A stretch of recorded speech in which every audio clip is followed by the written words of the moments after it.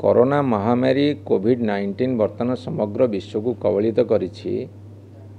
ଇଏ ଏକ ଅସ୍ୱାଭାବିକ ପରିସ୍ଥିତି। ଏଭଳି ପରିସ୍ଥିତିର ସାମ୍ନା ବୋଧେ ଶହେ ବର୍ଷ ଭିତରେ ମଣିଷ ଜାତି କେବେ କରିନି।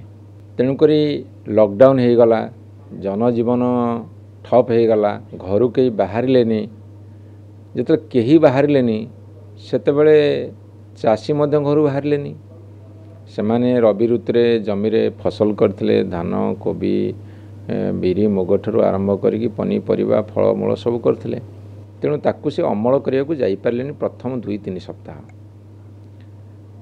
କିନ୍ତୁ ପରବର୍ତ୍ତୀ ସମୟରେ ରାଜ୍ୟ ସରକାର ମାନ୍ୟବର ମୁଖ୍ୟମନ୍ତ୍ରୀ କୃଷି ଏବଂ କୃଷି ସାଥିରେ ଜଡ଼ିତ ସମସ୍ତ ବିଷୟକୁ କଟକଣା ମୁକ୍ତ କଲେ। ତାପରେ ଚାଷୀ ଜମିକି ଯାଉଛି ଅମଳ କରୁଛି ଉତ୍ପାଦିତ ଦ୍ରବ୍ୟକୁ ବିକ୍ରି ବଟା କରୁଛି। ବର୍ତ୍ତମାନ ପ୍ରାୟତଃ ଟିକେ ନର୍ମାଲ ଅବସ୍ଥାକୁ ଆସିଲାଣି। ତେଣୁ ସରକାର ମଧ୍ୟ ବହୁତ ଗୁଡ଼ିଏ ପଦକ୍ଷେପ ନେଇଛନ୍ତି। ଜିଲ୍ଲା ସ୍ତରରୁ ଆରମ୍ଭ କରି ବ୍ଲକ ସ୍ତର ପର୍ଯ୍ୟନ୍ତ ପଞ୍ଚାୟତ ସ୍ତର ପର୍ଯ୍ୟନ୍ତ ଆମ ବିଭାଗରେ ଯେତେ କର୍ମଚାରୀ ଅଫିସର୍ସ ଅଛନ୍ତି ସମସ୍ତେ ଚାଷୀମାନଙ୍କୁ ସହାୟତାର ହାତ ବଢ଼ାଇଛନ୍ତି।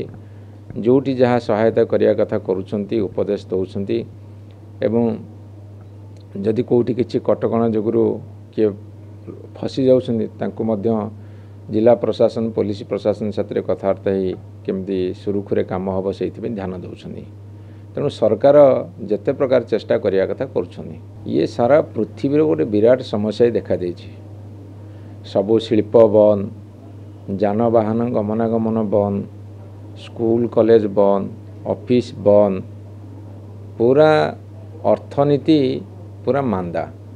ଖାଲି ଭାରତବର୍ଷରେ ନୁହଁ ଓଡ଼ିଶାରେ ନୁହେଁ ସମଗ୍ର ପୃଥିବୀରେ ସବୁ ଦେଶରେ ଏଇଭଳି ପରିସ୍ଥିତି ସୃଷ୍ଟି ହେଇଛି। ତା ଭିତରେ କୃଷି ଉପରେ ନିଶ୍ଚିତ ଭାବରେ ଆର ଗୋଟେ ଗଭୀର ପ୍ରଭାବ ମଧ୍ୟ ପଡ଼ୁଛି। ସବୁ ସତ୍ତ୍ୱେ କୃଷକ ପଦାକୁ ଆସିଛି ଜମିକି ଯାଉଛି ଯାହା କାମ କରିବା କଥା ବର୍ତ୍ତମାନ ଆରମ୍ଭ କଲେଣି। ଦୁଇ ତିନି ସପ୍ତାହ ପ୍ରଥମ ଅବସ୍ଥାରେ ସେ ବୁଝି ହେଲାନି କ'ଣ କରିବେ କ'ଣ ନାହିଁ। କାହିଁ ଏଭଳି ଏକ ଅସ୍ୱାଭାବିକ ମାନେ ଏକ୍ସଟ୍ରା ଏକ୍ସଟ୍ରା ଅର୍ଡ଼ିନାରୀ ସିଚୁଏସନ୍କୁ କେବେ କେହି ଫେସ୍ କରିନଥିଲେ। ତେଣୁକରି ଏବେ ଟିକେ ସ୍ୱାଭାବିକ ପରିସ୍ଥିତିକୁ ଆସିଛି। ଯାହା ପାଖରେ ଯାହା ଅଛି ତାକୁ ନେଇ ସେମାନେ ଆଗକୁ ଚାଲିଛନ୍ତି।